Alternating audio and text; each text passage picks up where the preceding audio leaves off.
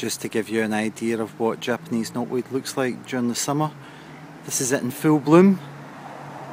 You can see the small yellow flowers at the very ends of the plant, typical at this time of the year, that being in September.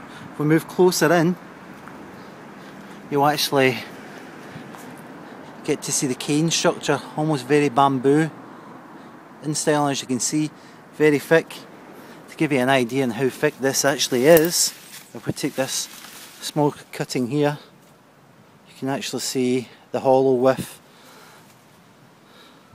small sections where, as you look into the Japanese knotweed stem itself, you can see where it's closed off.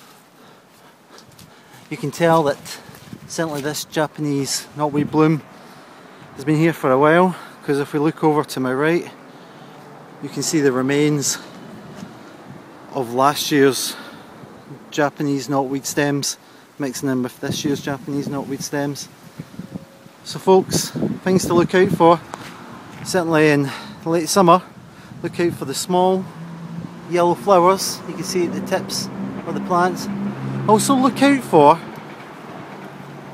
the leaf ratio, as you can see here on this example, you can see that the leaves are not actually parallel across from each other we look more closely here and look at the shape of the leaves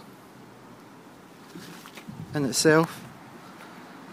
Well hopefully that helps you out folks and certainly if you've got any problems please give us a call.